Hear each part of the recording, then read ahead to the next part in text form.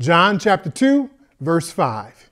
It says, His mother saith unto the servants, Whatsoever he saith unto you, do it.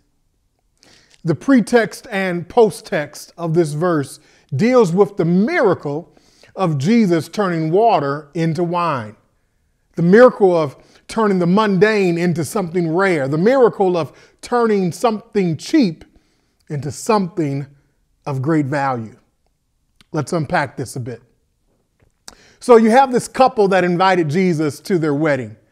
You know, I just think it's good to know that Jesus was not a social hermit. If you invited Jesus to a party or over to your house for dinner, Jesus would probably reply by saying, What time and can I bring anything? Right? And I think it's important to note that as Christians, as believers, we should never be so focused on religious activities that we don't have time to socialize with people who need Jesus.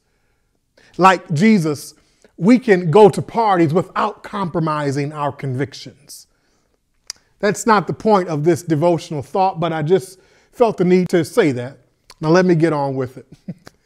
so, they are at this wedding, which, by the way, in those days, Jewish weddings often lasted a week. So, by this point, they had run out of wine. Jesus' mother informs him of their uh, host's embarrassing predicament of running out of wine. Jesus responds, Woman, what have I to do with thee? Mine hour is not yet come. Now, back in the day, I used to think, man, Jesus was all types of disrespectful. I mean, just calling his mom woman. But Jesus wasn't in his James Evans from Good Times mode. No, no, no, no. In his culture, it was actually a courteous remark, like calling a woman ma'am today.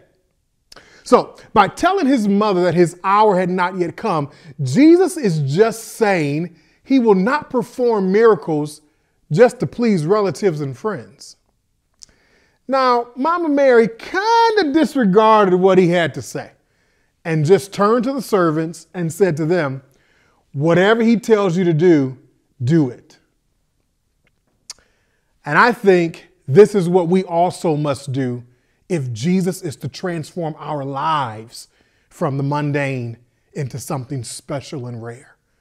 Whatever he tells you to do, do it. We know from reading that Jesus tells the servants to fill each of the jars up with water, and the water turns into wine. Everyone was happy, and they returned back to the dance floor as the band played the Jewish rendition of All I Do Is Win, Win, Win, no matter what. Jesus did not perform this miracle just to save a family from social embarrassment. Jesus always performs miracles to reveal his glory and to authenticate who he was and is. Now, if Jesus can transform 120 gallons of water into wine, he can certainly transform you and me. Paul says in 2 Corinthians 5 and 17, Therefore, if anyone is in Christ, he is a new creation. Old things have passed away, and behold, all things have become new. I want to encourage you today to walk in the newness of life today. And whatever He tells you to do, do it.